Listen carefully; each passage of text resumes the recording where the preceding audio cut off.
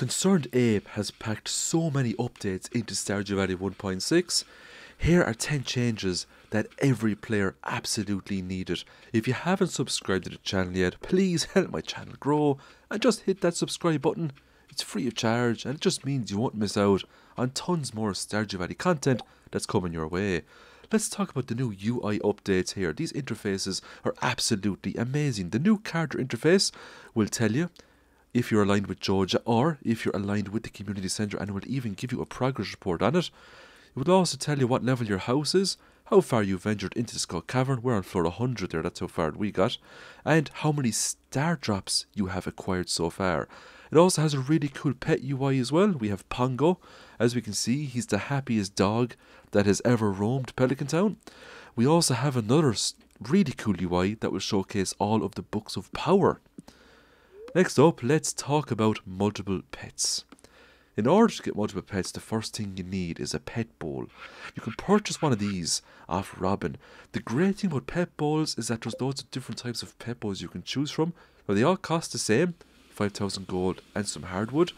But the best part about these pet bowls is that when you place it down, Robin will build it instantly. As she says, it comes prefabricated. you can place as many pet bowls down as you wish. I think the fact that you can change between different types of pet bowls will give players really nice options to match their own farm aesthetic, especially depending on what kind of roads you have on your farm or what kind of lands you're using.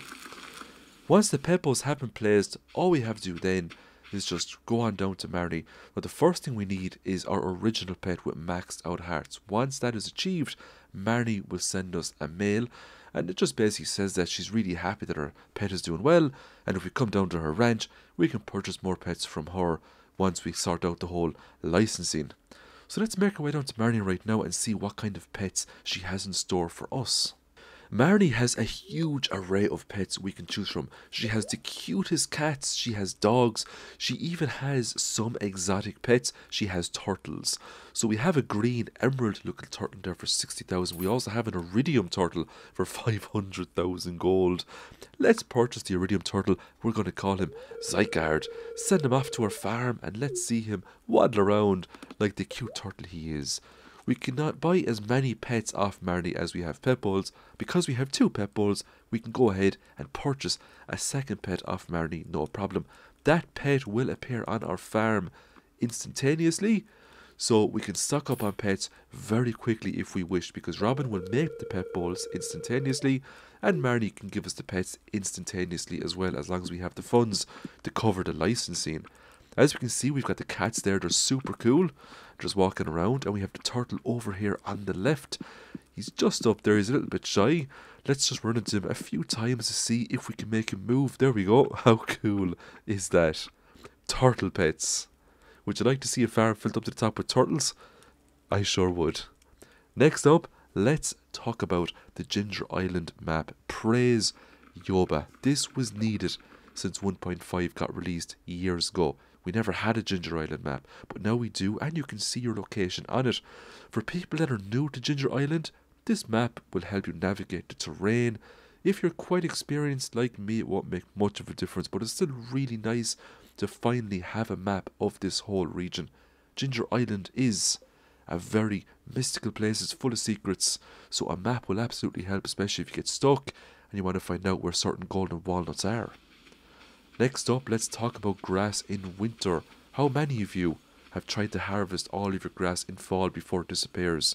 How many of you have tried to purchase silo after silo off Robin and fill it up to the top to save money? But now you don't have to worry too much. The grass will carry over into winter.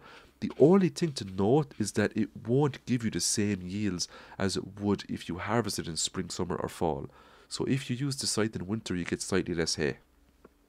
We're now going to talk about the NPC winter clothes. They are hundreds of Stardew Valley mods that you can get for this game that will change the way NPCs look. I mean, you can get them to look like straws, you can get them to look like demons, you can get them to look like enemy characters. But the one thing I always wanted ConcernedApe to do was to put clothes on these NPCs to match what season we're in. Now, he has made a bit of progress and he has put some nice winter clothes on the NPCs, which is absolutely great to see. Each NPC has their very own winter clothing, and they all look super cozy, super comfy, and I think they just suit them quite well. So it is very impressive to see. Next up, we are going to talk about Praise the Lord coal nodes. They were needed for so long. Now the quarry actually has a proper purpose. I won't be making tree farms up here anymore. I'll just be leaving the nodes grow back and just come up here to farm coal whenever I need it. Coal is something that's needed all the time. You need it for smelting bars, and the amount of bars you go through, especially when you're going for perfection, is insane. You can also get coal nodes inside the volcano cave as well, which is super handy.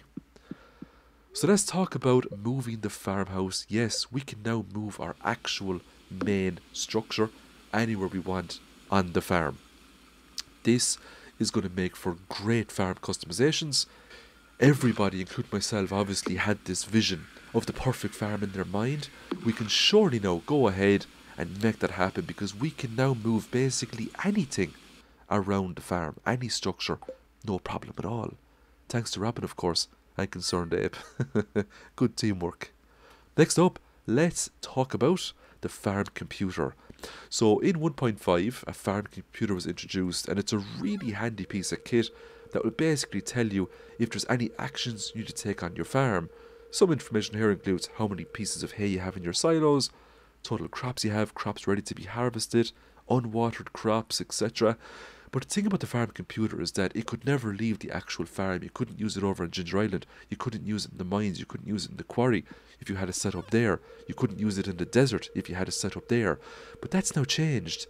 Demetrius has dramatically increased his coding knowledge, and you can now use the computer anywhere in the game. It will lock onto any structures or equipment you have in that desired room, and it will give you the stats no problem at all. Let's take a look at our fabulous computer here over on Ginger Island.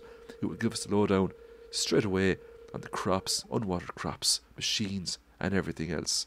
It's going to be such a game changer to have one of those in all of the zones that we're doing our fabulous farming operations in. Now, I know many people who play Stardew Valley don't like Joja, but in all fairness, they're not that bad. ConcernedApe absolutely loves Joja. He's a huge fan. He's always buffing him. Let's take a look at the new and improved Joja Cola. Let's all thrive together here, people, because we now have access to a drink that we can get from day one that will give us a speed buff. That's right, Joja Cola will now give us a plus one to speed. Now, the buff doesn't last for too long, it lasts for 21 seconds, but I can tell you right now, if you need to get from the beach back to your bed and you have less than an hour to do so, the Joja Cola will save your wallet. Trust me on that. It is going to be an absolute lifesaver of a drink. You can fish this up from any sort of water. You can get it down in Florida 100 in the mines. You can get it in the river. You can get it over on Ginger Island. It's going to be the handiest thing now to pull out of the water, especially if it's really late. You got to get around quick. The Joja Cola has been enhanced. Skull Cavern hard mode, here we go. So in 1.5, uh, Skull Cavern Invasion was released to the game, and it basically made the Skull Cavern much harder. Harder enemies, you could also get radioactive ores inside the Skull Cavern as well.